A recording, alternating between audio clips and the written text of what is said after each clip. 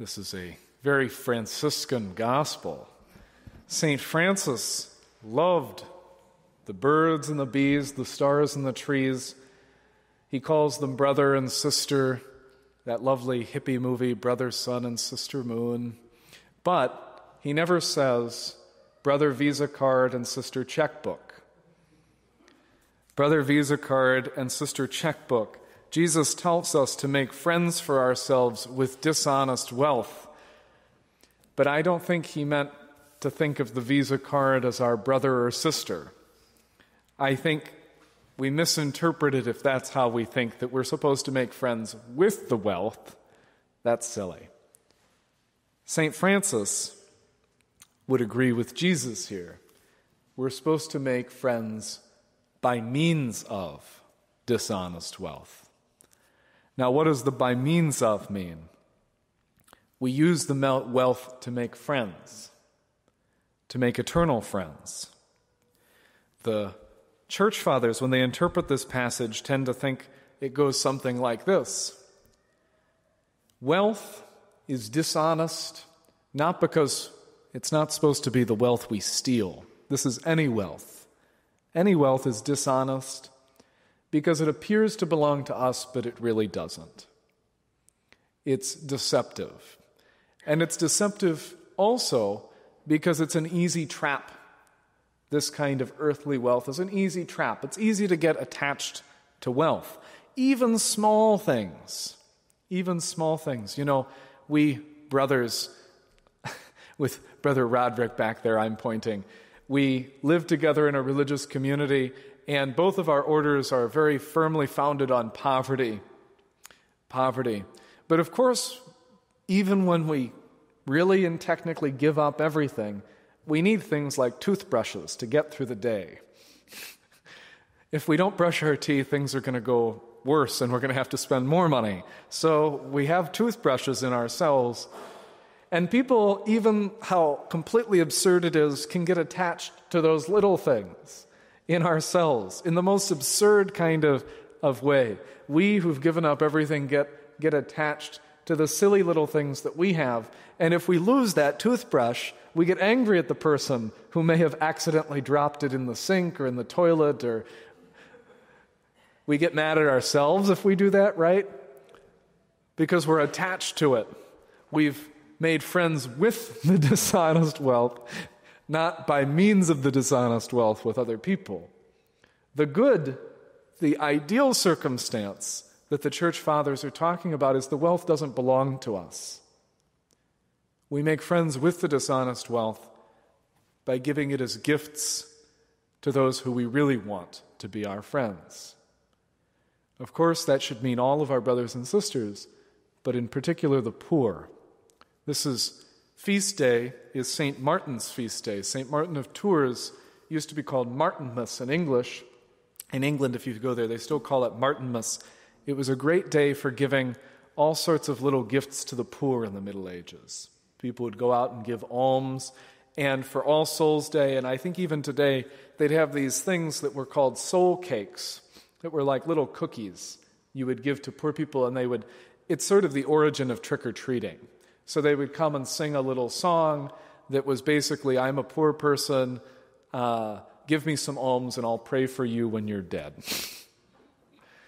I love that custom. It's beautiful, but you get a very visible instance of what it means to make friends with dishonest wealth. We give as gifts to those who we want to be our patrons. It's a lovely custom. We know the story of St. Martin. Where does this giving alms to the poor come from on Martinmas.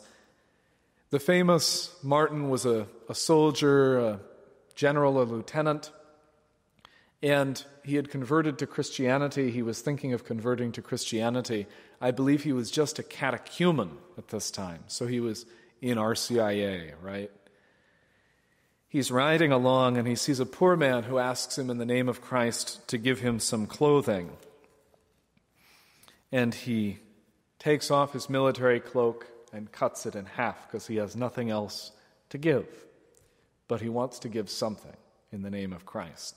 He cuts half of it off and gives it to the man, the poor man.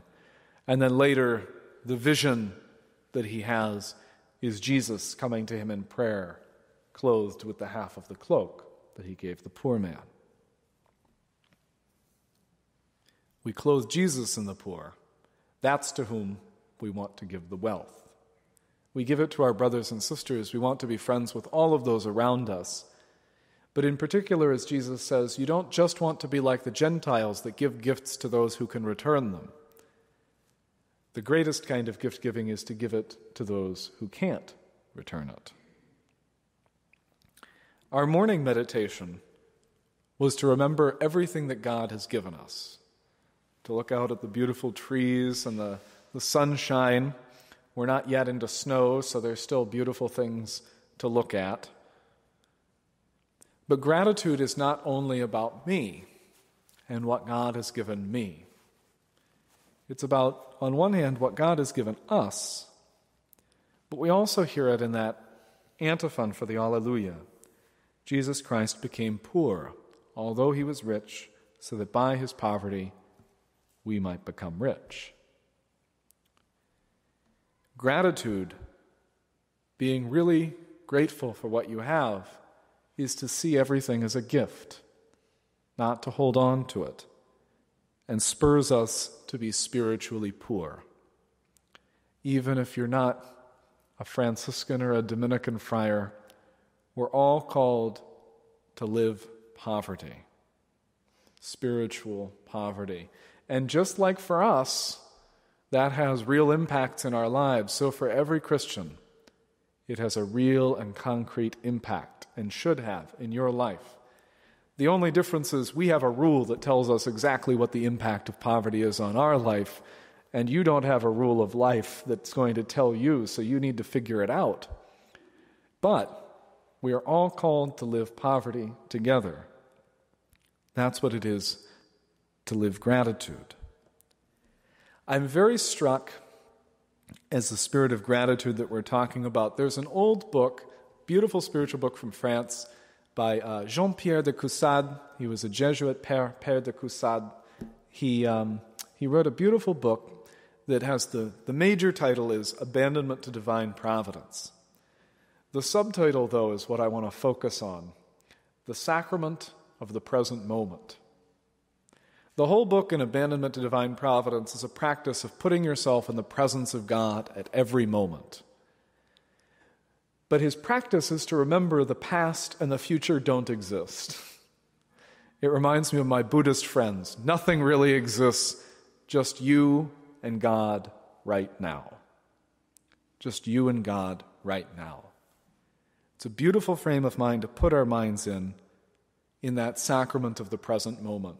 That's where God is. We were talking about symbols we see through. As we're passing from the first set of wings to the second, we're putting beside, putting behind us all of our worries about the past or the future. We're learning to live in the now. St. Martin, when he died, had a beautiful, beautiful death that's recorded for us by Sulpicius Severus, who was a, a friend of his. On his deathbed, the brothers, his monastic brothers, and the priests of his diocese said, Father Martin, don't leave us. The wolves will come. We need your help. He says, I am ready to go. I want to be with Jesus. But he starts crying. He says, I want to be with you. You need me. I'll ask Jesus to perform a miracle if he wants. And he who had worked so many miracles started praying, and Jesus didn't fulfill his desire. But you can see on his deathbed, he wanted to be completely at the service of others. He eventually does go to God and prays for his brothers from heaven. We're putting beside ourselves all of our worries to truly be grateful and to look in love with those around us.